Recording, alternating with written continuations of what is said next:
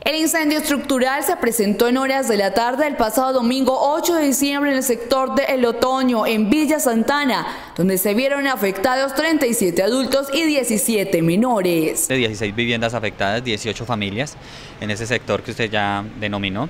Eh, tuvimos que atender con los eh, Cuerpo Oficial de Bomberos de Pereira, con una maquinaria eh, inclusive nueva que tenemos y con la capacidad también de apoyo de dos quebradas. El incendio fue bastante grande y difícil de controlar. Tuvimos 53, 54 pues, personas afectadas, dentro de esas tuvimos 17 menores de edad, 33 adultos, 4 adultos mayores. Eh, tuvimos que eh, determinar eh, con el cuerpo oficial de bomberos las posibles causas de la misma.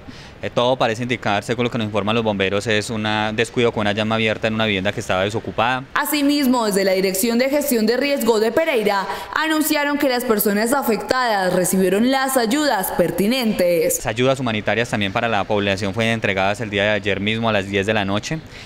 todas estas ayudas constan de kit de alimentación, kit de abrigo, kit de cocina y kit de aseo y solo tenemos pendiente con las eh, familias el otorgamiento del subsidio de arriendo temporal, el cual debe ser tramitado eh, con base en una documentación que ellos nos suministren. Para otorgarles los subsidios de viviendas, esas personas deberán llevar tres documentos. El certificado de tradición de la vivienda que van a arrendar, una fotocopia de recibos públicos y la cédula del propietario y del arrendatario. Con esos documentos nosotros hacemos el trámite del subsidio de arriendo temporal y se demora entre 5 a 8 días para hacer de efectivo. Estas son algunas de las recomendaciones para tener en cuenta en esta época navideña. En esta época navideña nosotros tenemos dos causas de incendio principalmente. La primera, eh, situaciones por pólvora, ya sea polvorerías eh, ilegales o eh, la misma insignación, eh, la generación de nosotros, eh, generar el proceso de quemarla, eso, eso genera procesos de incendio en diferentes zonas. Nosotros hemos tenido reportes de incendios históricamente